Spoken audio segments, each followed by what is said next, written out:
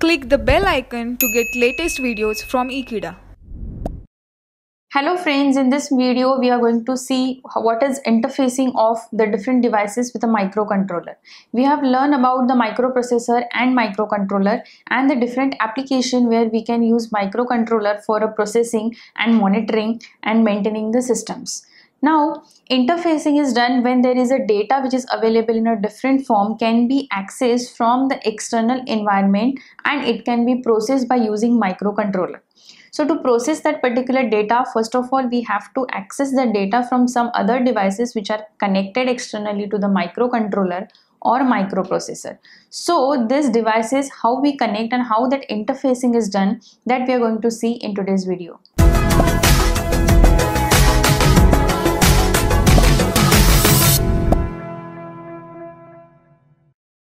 So first let's understand what is interfacing is and for what purpose the interfacing is required.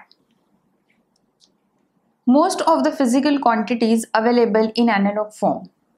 Most of the physical quantities available in an analog form. Now let's take one example. For example, if we want to check the temperature of any particular room and we want to maintain the constant temperature for that particular room so that we have to monitor the temperature continuously and according to the ups and downs in the temperature you have to maintain the particular range. Now for this purpose first of all we need to have one device which will measure the temperature of that room and that particular parameter the measured parameter or measured temperature value can be sent to the microcontroller so that program microcontroller chip can take an appropriate action now temperature, humidity, such kind of the physical quantities are always available in an analog form.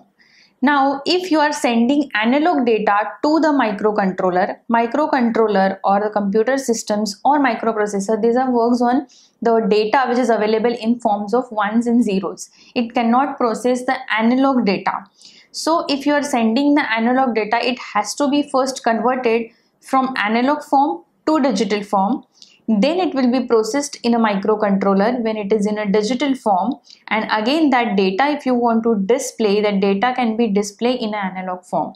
That means from sensor if you are using sensor to sense the parameter that value will be sent to the microcontroller and microcontroller will process the data. So it requires analog to digital converter Hence, the data is available in an analog form. It is difficult to process, store and transmit. Hence, we require A to D conversion which is necessary where A stands for an analog and D stands for a digital. Now let's see one block diagram simple where we have a sensor. Let's take an example of a LM35 which will measure the temperature.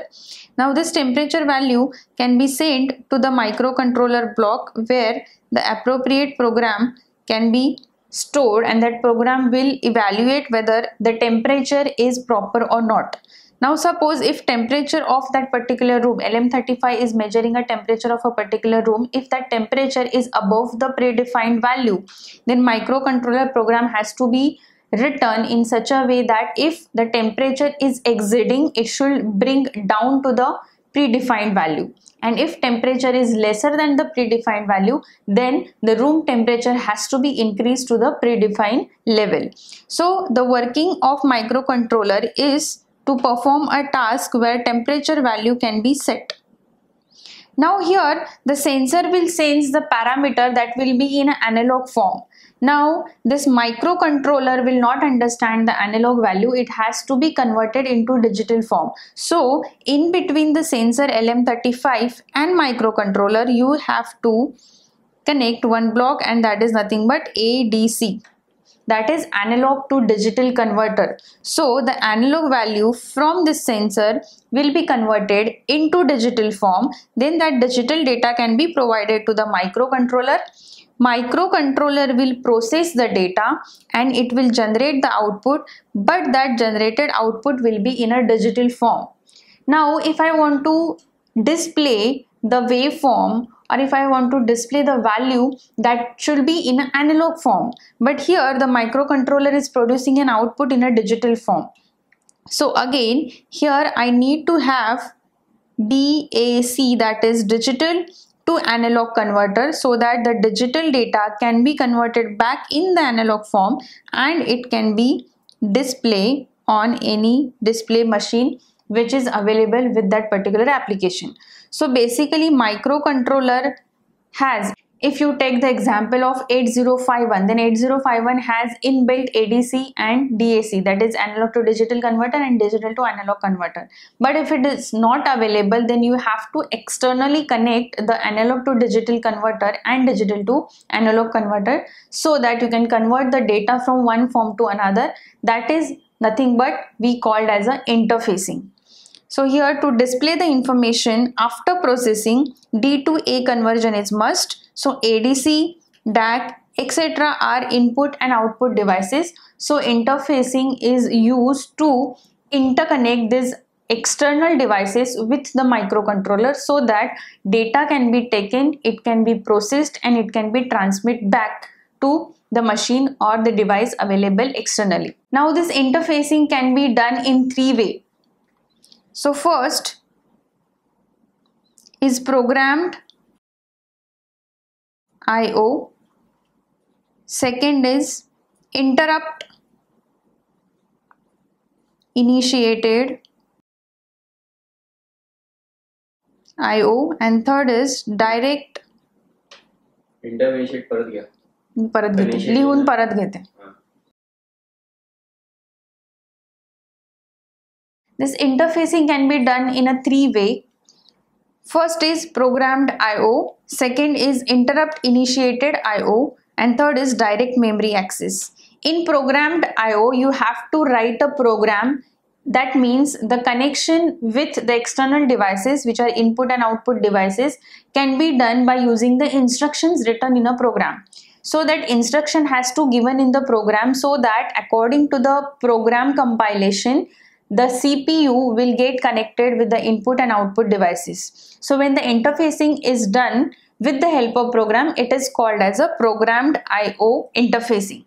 Second is interrupt initiated IO. That means if you are connecting external devices, then interrupt activity should get activate and with the interrupts, the CPU can be interrupted that activity has to be detected and then CPU will take an appropriate action. For example, if we connect the pen drive to the computer system, it prompt you with the window that some external device is connected to your system.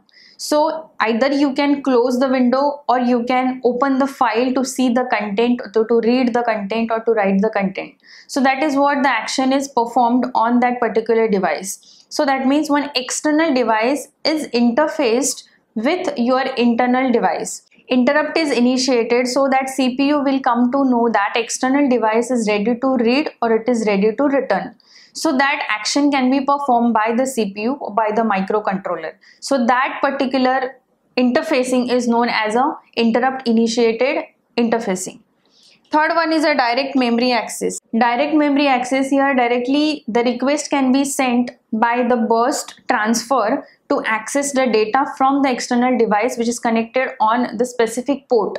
So port number will specify at which port number the memory device is connected and the data can be accessed from directly from the memory either it can be an internal memory or it can be an external memory and then the processing of that data can be done. So this is how the interfacing is performed and for a different type of device, different number of ports can be connected to the port of that specific device to transfer the data, to receive the data, to transmit the data and to process that particular data. So interfacing can be used to connect external device with the microcontroller. I hope you have understood what is interfacing is and how it is important whenever we go for any particular application of a microcontroller.